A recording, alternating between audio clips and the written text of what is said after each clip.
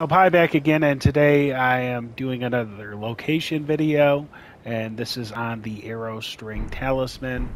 So if we go into the map real quick, it is located over here by the impassable Great Bridge.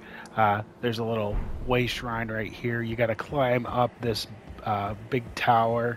Uh, there is an, uh, two enemies down here.